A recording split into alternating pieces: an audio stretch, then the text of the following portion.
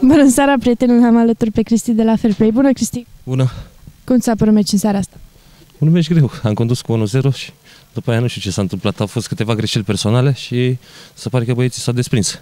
Și ne-a scăzut de moral.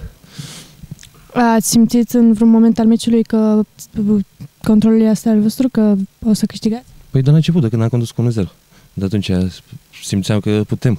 Și chiar am putut, dar se pare că scorul reflectă altă realitate. Au fost mai buni, dar nu cred că au fost cu, cu atât mai buni, cu diferența asta de scor. Am înțeles 8-3, nu cred niciodată că 5 goluri avans meritau.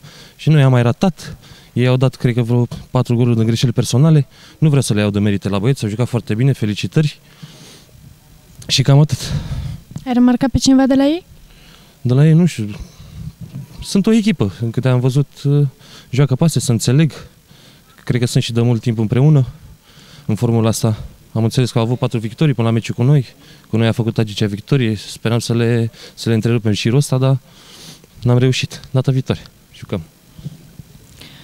Uh, pe viitor ce planuri aveți pentru echipă?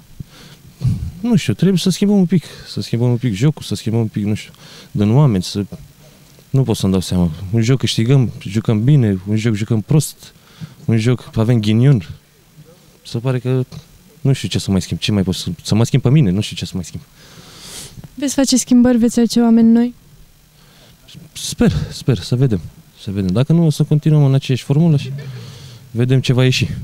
Nu trebuie să avem prea mare pretenții, nu ne cunoaștem de mult, trebuie să ne legăm și noi un pic jocul. Înfrângerea din seara asta v-a motivat în vreun fel?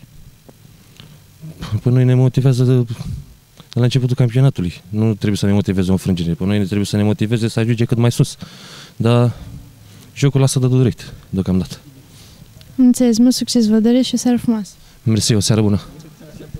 Nu uitați să dați like pagina noastră de Facebook Liga Prietenii să vizitați site-ul nostru oficial ligaprietenii.com. De asemenea, le mulțumim sponsorilor de la Homa Sport Shop și Cipita. Pă, pup!